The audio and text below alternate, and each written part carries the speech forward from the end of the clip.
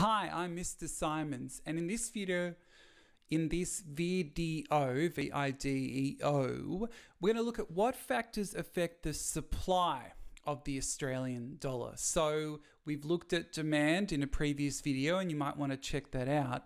Now we're looking at supply, essentially all the people that wish to sell, get rid of Australian dollars. All right, let's take a look at this.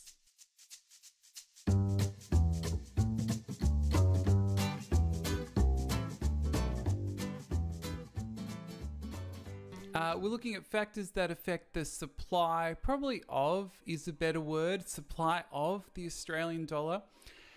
And the supply of the Australian dollar is determined by all the people who want to sell Australian dollars. So essentially that they want to that they want to sell Australian dollars and buy forex. Now, forex does not stand for for example, it stands for foreign exchange. So they want to buy some other country's currency. Now, as I said with the demand video, this was told to me by someone much smarter than myself. Shout out to Miss Matthews. What I was told, which I think is uh, useful, is that the supply of Australian dollars relates to outflows from Australia's balance of payments. So it relates to money that is leaving Australia and traveling to other countries. So if we're thinking about outflows from Australia's balance of payments, what we're thinking about are debits on Australia's balance of payments in terms of the capital and financial account or the current account. Don't need to worry about a CAD here, just in terms of the current account. So debits on Australia's balance of payments. So for example, demand for foreign goods by Australian residents. Foreign goods here, the subtext is imports uh, recorded as goods and services and recorded as here. That BOGS debits. Debits on the balance of goods and services represent money leaving Australia because the goods come into Australia, but the money leaves Australia to pay for them. That's the deal. So, what we're talking about here is the demand for foreign assets such as shares, real estate, bonds, currency, by Australian residents, so people living in Australia, that leads to capital outflow abroad. So money leaving the capital and or financial account. And this is recorded as debits on those accounts. So again, we're talking here. So if we're talking about BOGS debits, capital and financial account debits, what we're talking about is talking about selling Australian dollars, which will increase the supply of Australian dollars. If we are looking at credits, right, credits onto the balance Australia's balance of payments, that's about increasing demand for Australian dollars, and that is a separate video. And you can click that link at the top and check it out right now. Okay, no, don't check it out right now. Keep going. Stay with me. We've got a bit more to do. Check it out later. Okay, so now we've had that introduction. We've thought about, okay, so we're talking about uh, increasing supply of Australian dollars, people selling off their Aussie dollars. Let's look at some specific drivers or specific reasons um, that lead to an increased supply of Australian dollars. So the first thing to think about is the level of financial flows that leave Australia. So let's put this in green just so we can make it clear about what the factors are. So what we're saying here is that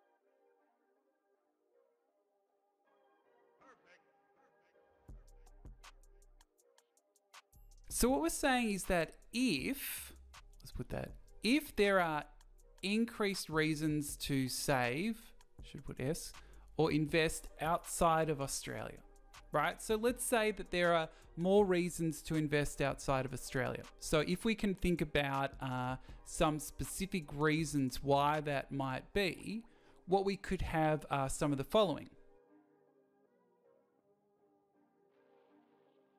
So what we could say is maybe Australia's interest rates are lower than global interest rates. So people can get higher returns if they save overseas rather than saving in Australia. Also, maybe there are greater opportunities outside of Australia, and that could be maybe the Australian economy is slowing, maybe government policies are unfavorable in Australia. There are all sorts of potential reasons why that could be the case. But essentially, what's happening is that because there are increased reasons to save or invest elsewhere, there will be increased supply of Australian dollars. So, S in this context is not saving, but it's supply. Increasing supply of Australian dollars because people need foreign exchange to invest or save elsewhere. Elsewhere being another country, and what they need to do is sell off those Australian dollars and get another currency that will help them earn more money. So that is one way or one driver of greater supply of the Aussie dollar. The level of financial flows leaving Australia. Leaving Australia. So, leaving Australia, it's those debits, money exiting the country on the balance of payments. Okay, I've made that point. Let's move on to the next point. And the next point says uh, speculators or expectations of a currency depreciation.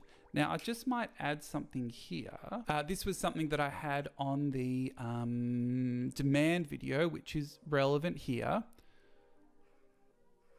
So, what we're saying here is that uh, speculators or traders or people in the market, uh, what they are expecting is that people in the market they expect that the value of the Australian dollar will fall, leading to a depreciation. Now, if people hold Australian dollars at the moment and they think that the value is going to go down, they want to they want to sell the Australian dollar now and minimize their losses. They want to get out before it really plummets. But the thing here is that